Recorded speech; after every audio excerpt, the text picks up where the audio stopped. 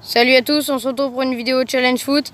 Alors les deux poteaux c'est 5, la barre c'est 10 points, la chaise blanche c'est 3, le banc rouge c'est 7 et un but normal c'est 1. Donc là c'est Quentin qui va s'élancer.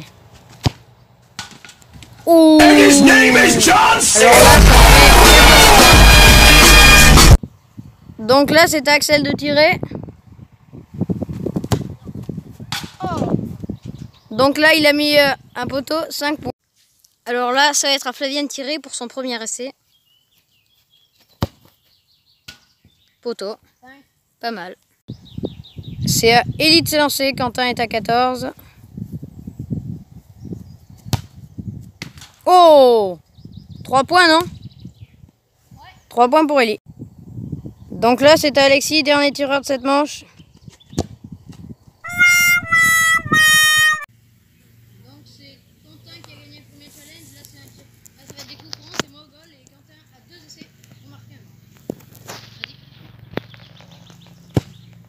Il